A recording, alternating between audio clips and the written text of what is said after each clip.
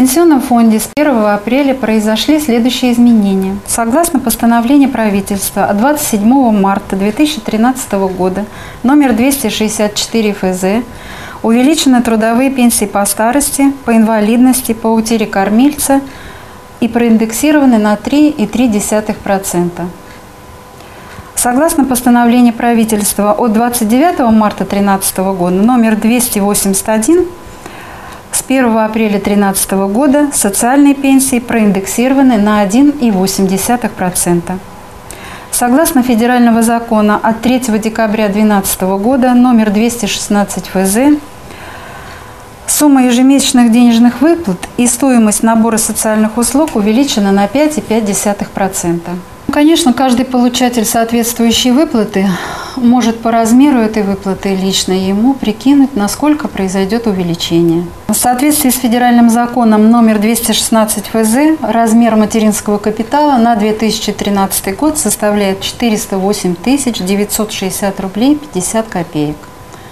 Это новость для владельцев, владелец материнского капитала. Воспользоваться материнским капиталом можно по тем же основаниям, которые указаны в законе.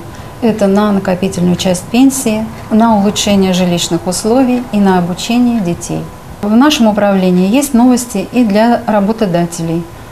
А, с 25 марта прием работодателей, страхователей, индивидуальных предпринимателей производится в управлении по адресу улица Вокзальная, дом 51Б, это сделано в интересах страхователей, так как здание у нас переполнено сотрудниками, сидят не очень удобно, соответственно, не очень удобно вести прием в таких стесненных условиях.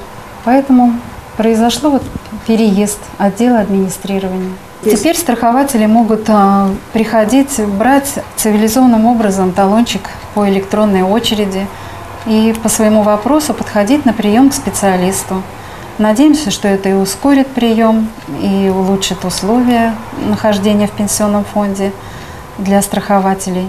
Хотелось бы опять воспользоваться случаем и подчеркнуть, что пенсионный фонд просит страхователей переходить на сдачу отчетности по интернету с электронно-цифровой подписью. Переезд отдела администрирования готовился у нас почти полгода. Вот мы начали подготовку с октября месяца готовили э, этаж, завозили мебель, обустроили электронную очередь, внутреннюю АТС установили. Поэтому там будет очень работать комфортно нашим сотрудникам и, соответственно, очень комфортно будет посетителям.